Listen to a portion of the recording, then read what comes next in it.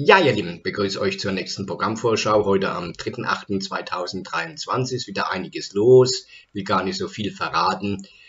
Sicher ist es jetzt nicht in der Absolutheit das äh, wichtigste Thema, dass unsere Mädels hier rausgeflogen sind in der Vorrunde. Ich habe es antizipiert, ich habe es vorweggesehen, ich habe da keine Glaskugel für gebraucht. Es ist nicht verwunderlich, aber auch das war abzusehen, aber nicht nur darum geht's.